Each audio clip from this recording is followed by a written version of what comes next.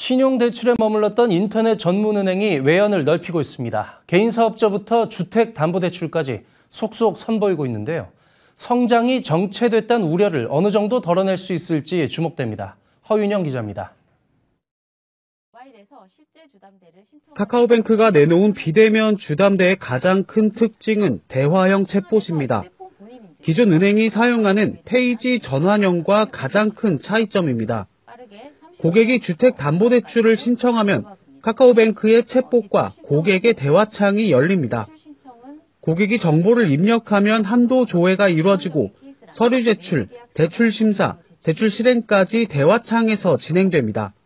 카카오톡에서 대화하듯 대출이 이루어지는 겁니다. 음, 대면에서 일어나는 뭔가 친절하게 안내해주고 어, 영업점에서 일어나는 프로세스를 저희가 이제 비대면으로 어떻게 구현할 것인가, 대면의 어떤 가치를 비대면화하는 부분에 대해서 굉장히 고민을 많이 했습니다. 카카오뱅크 주담대는 수도권 지역 KB 시세 기준 9억 원 이하 아파트를 살 때 받을 수 있습니다. 최저금리는 2.96%, 최대 한도는 6억 3천만 원으로 설정됐습니다.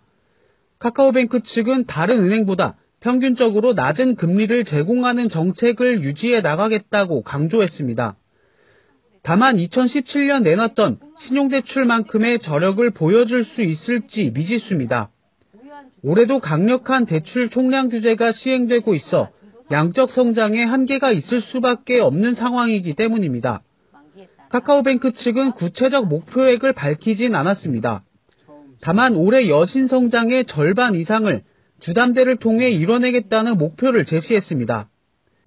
IR 때 저희가 아마 어, 전체 취급액의 어, 전체 순증액의 절반 이상은 주담대로 하겠다 이렇게 이제 어, 발표하고 말씀드린 걸로 알고 있습니다. 그래서 그거 이상은 아마 주담대로 할 거고요. 카카오뱅크에 앞서 토스뱅크도 어제 인터넷 은행 최초로 개인 사업자 대출을 내놨습니다.